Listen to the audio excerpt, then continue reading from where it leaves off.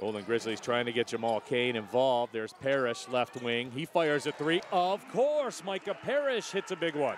You know,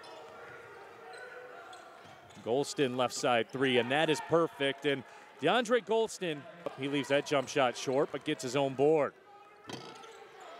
Right back in the paint. His floater is short, but it's tipped up and in. Detroit. There's Trey Townsend getting to the rack from the corner. And Rex, I'll tell you what, there's not. And he dribbles into some trouble. Trey Townsend got a piece of that pass, but collecting it and scoring. Thomas crossed over and lost the basketball. And Jamal Cain diving on the floor after it and saves it to Jalen Moore. Thomas crossed over and lost the basketball.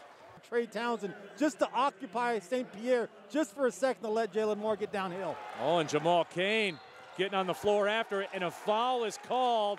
And then with a 24 to 12 lead, Lathan thought it was an over and back, and Jalen Moore going to the floor after the basketball. Bodies everywhere.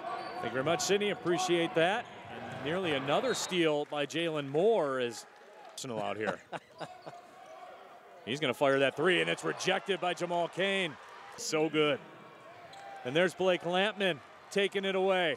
Lampman to the rim, lays it up and in, doing it on both. Gholston gets a ball screen. Jamal Cain hassling him. Right corner, catch and fire three It's filled up by Tafar.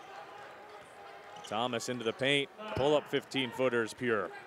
Nice quick ball till he shot it in. Here comes Cain to the rim and rises and dunks over everybody on the Conway. Conway way away from the basket. Finds Parker, top of the key three. Of course, Brody Parker